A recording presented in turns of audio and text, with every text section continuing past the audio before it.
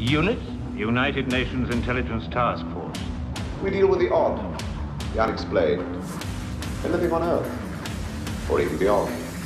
Do you seriously expect me to believe that? Get down! We just can't hold them, sir.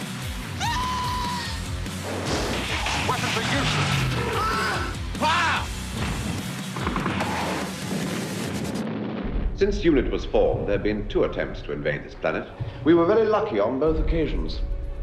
We had help from a scientist, the great experience of other life forms. Do you know him? No, I thought I might do, but he's a complete stranger. I've never seen him before in my life. Lethbridge Stewart. He knows you, sir. How do I know that you're not an imposter? Ah, but you don't. Only I know that. The TARDIS no longer works, as you saw.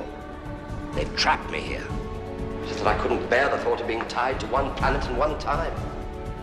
I'm your new assistant, Josephine Grant. Oh, no. Oh, dear. We are in trouble, aren't we? Not, not just Time Lords. We're the same Time Lord. A moment of truth for us both.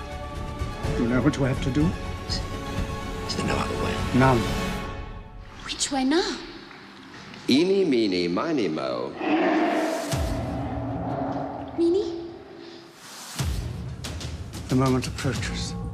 The moment I have been waiting for. The end of the world. But I want to play games, ain't we? I'm quite spry for my age, actually. I'm a journalist, Sarah Jane Smith.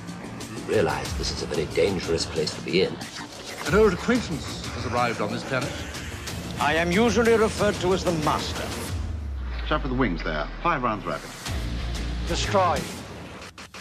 Total destruction. Inside each of those shells is a living, bubbling lump of hate. Right, right! I haven't got much time left. The humans will destroy you! What idiot ordered an all-out attack? I brought some old friends along. No!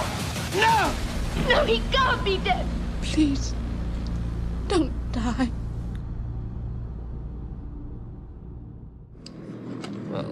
I say so myself, I think that's a remarkably efficient piece of work.